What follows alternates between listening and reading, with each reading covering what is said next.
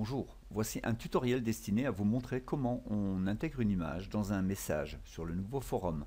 Alors vous mettez le titre de votre message, vous écrivez un texte et on va essayer de mettre une petite image. Pour ce faire, on va se rendre sur Google, on va taper par exemple musique, pas de faute. Vous allez choisir image et bien entendu, on va prendre outils de recherche et on va choisir par exemple une taille réduite. Ça sert à rien de mettre une image que vous voyez ici en 400 par 266. Ici 1920, elle sera trop grosse.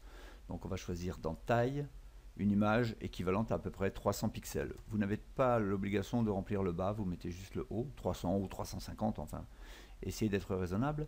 On va prendre par exemple cette image qui est ici. Je vais cliquer. La voilà qui apparaît. Et je fais un clic avec le bouton droit dessus et je copie l'adresse de l'image en fait, ça va me servir pour l'intégrer dans le forum. Copier l'adresse de l'image. On ne copie pas l'image, on copie l'adresse. Ce qui fait que maintenant, on peut refermer cette fenêtre et retourner dans le forum. On se positionne là.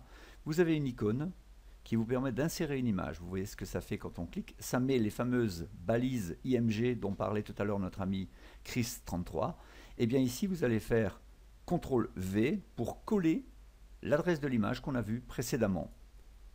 Vous allez faire peut-être aperçu et vous allez voir que votre message ici en haut contient une image de 300 pixels de large qu'il est allé chercher à l'endroit que vous avez localisé tout à l'heure. Donc c'est extrêmement simple, vous pouvez en utiliser autant que vous voulez. Je vous conseille quand même de mettre des images de petite taille.